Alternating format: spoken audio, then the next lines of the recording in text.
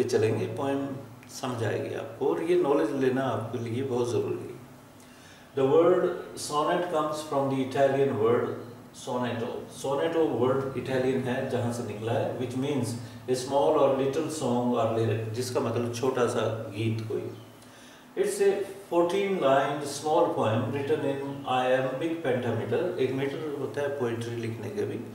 होते हैं कई होते हैं तो उसमें आयम्बिक पेंटामीटर में लिखी गई जाने वाला होता है। Each line has ten syllables एक लाइन में टेन सिलेबल्स होते हैं। साउंड uh, की स्मॉलेस्ट यूनिट को सिलेबल बोलते हैं।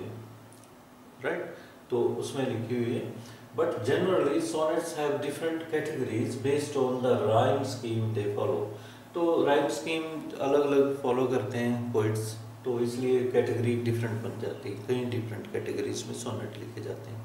शेक्सपियर का अलग अंदाज है। टेक्स्ट पढ़ते हैं, फिर आगे पॉइंट पे बढ़ते हैं।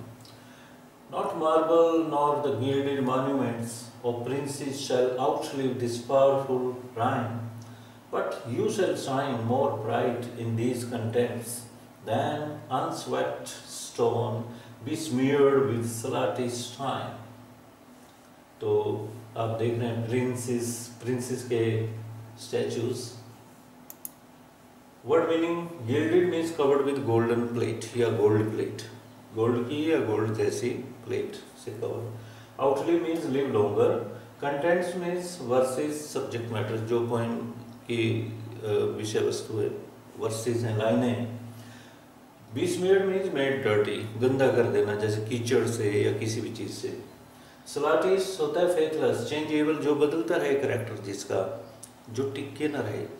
सलाटिस वूमन के साथ, वूमन को कहते हैं, जो जिसका करेक्टर लूज होता है, वो किसी के प्रति भी वफादार नहीं होती।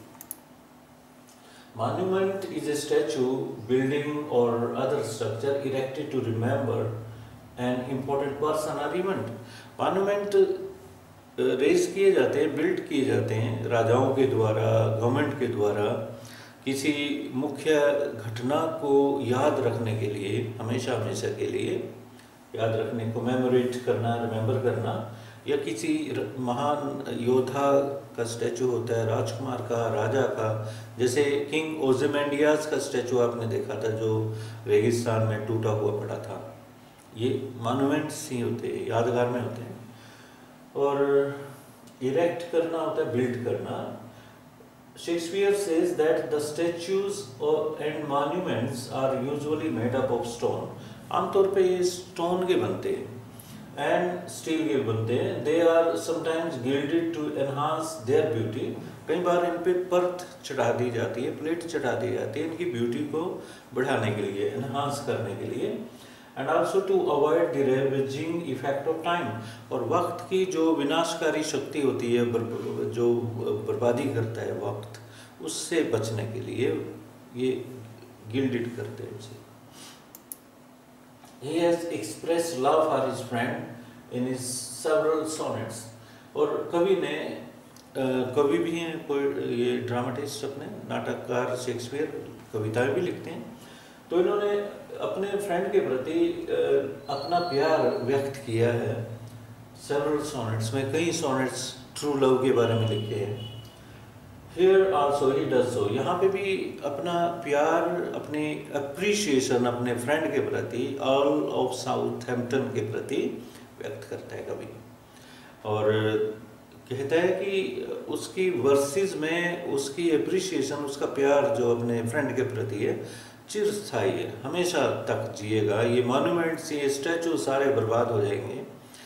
जब तक दुनिया चलेगी टिल डूम स्टे डूम क्या होता है? डूम स्टे प्रलय का दिन आएगा। जब सारी धरती खत्म हो जाएगी, इंसानियत, इंसान खत्म हो जाएँगे, कोई भी जीव बाकी नहीं बचेगा, तब तक उसकी वर्सेस जीवित रहेंगी। एक जनरेशन दूसरी जनरेशन को देती रहेगी वर्सेस, चलती रहेंगी वो। चाहे वो किसी भी तरह से लिखी गई हो आज भी देख लो शेक्सपियर को आ, का पीरियड जो था कब था देख लो fifteen century sixteen century sixteen century में रहा तो आज भी इतने वर्षों तक पोएमें चल रही हैं और हम सब याद करते हैं शेक्सपियर को Here also it does so, speaking about his strong belief for durability of his powerful verses. अपनी शक्तिशाली शक्तिशाली इसलिए कि इफ़ेक्ट करती हैं, दिल को छू लेती हैं, आदमी को सोचने पे मजबूर करती है, इसलिए पावरफुल है। ये जो पावरफुल वर्सेस हैं, इनकी ड्यूरेबिलिटी की कब तक ये चलेंगी, उम्र जो होती है इनकी स्ट्रॉन्ग बिलीफ अपना पक्का विश्वास व्यक्त करते हुए और अपने दोस्त के प्रति अपना प्यार, अपनी प्रशंसा व्यक्त करते हुए he begins the poem by saying that वो अपनी कविता को शुरू करते हैं that neither statues made of marble stone ना तो मार्बल स्टोन के पत्थर के बने हुए statues nor monuments of the princes और ना ही मॉन्यूमेंट्स जो प्रिंसेस के हैं, यादगार में बने स्टैचूज हैं बिल्डिंग्स हैं, जैसे ताजमहल भी तो बिल्डिंग ही है. विद गोल्ड प्लेट और गोल्ड प्लेट से ऊपर परत चढ़ी हुई उनकी shall live longer than his powerful poetry ये सब उसकी पावरफुल पोइट्री से अधिक समय तक नहीं रहेंगे। तो पावरफुल पोइट्री उसकी हमेशा तक रहेगी। ये पंक्ति आप देख सकते हैं यहाँ पे। नॉर मार्बल मार्बल के बने हुए, ना गिल्डेड मॉन्यूमेंट्स ऑफ़ प्रिंसेस राजकुमारों के shall outlive means live longer this powerful rhyme powerful rhyme से अधिक नहीं चलेंगे। But you shall shine more bright in these content in verses में तुम अधिक चमकीले होंगे, चमकोगे, जीवित रहोगे। Then unswept stone be smeared with lattice time. Unswept sweep करना होता है, साफ़ करना, झाड़ू मारना जैसे होता है। अनस्वेप्ट जिसको कभी, जिस पे कभी गर्द तक नहीं हटी, झाड़ा पहुँचा नहीं गया जैसे। स्टोन्स पे गर्द चढ़ जाती है। बीस मिनट गंदे हो जाते हैं, उस पर कोई फेंक देता है, कुछ कई बार कीचड़ या कुछ भी, किसी भी चीज़ से वो गंदे हो जाते हैं। और देखते हैं। He has expressed love for his friend in his several ये हो चुका है। He also proves that his verses will live for longer time और कभी अपना पॉइंट साबित करता है। अपने तर्क देके। कि उसकी वर्सेस जीवित रहेंगी लॉन्गर टाइम तक, अधिक समय तक than the statues and the monuments जो स्टैचूज बने हुए मॉन्यूमेंट्स है, इनसे अधिक। His friend will shine more brightly than the uncared for statues. Unswept के लिए uncared जिसकी रख रखवाली नहीं की गई, प्रवाह नहीं की गई देख रेख नहीं होती जिन स्टैचूज की। Dirtied by filthy and untidy time और वक्त उसे गंदा कर देता है।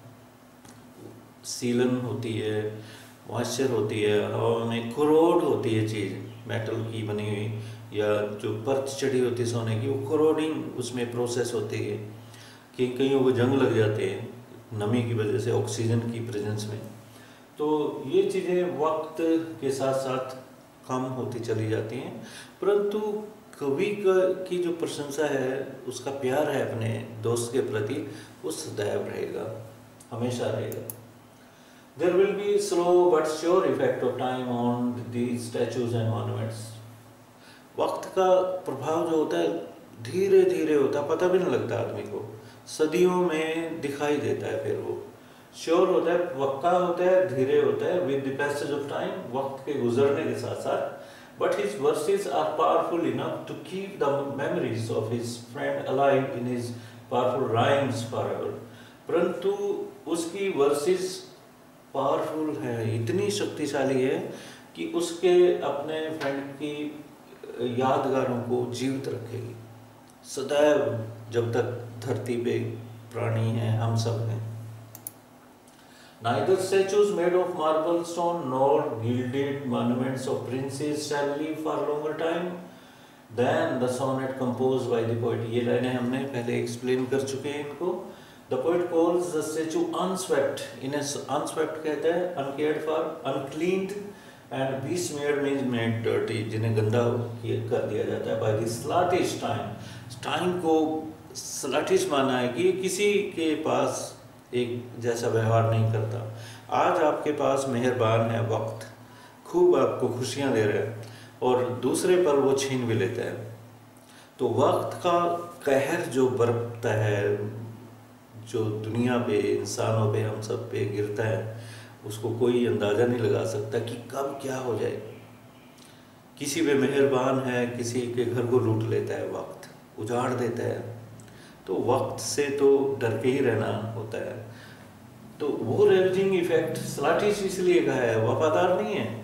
आपके घर में मेहरबानी है वक्त की, और खुदा न खास खास्ता ऐसा हो जाए, कुछ ट्रेजिक हो जाता है किसी घर में तो उसके खुशियाँ सारी छिन जाती हैं।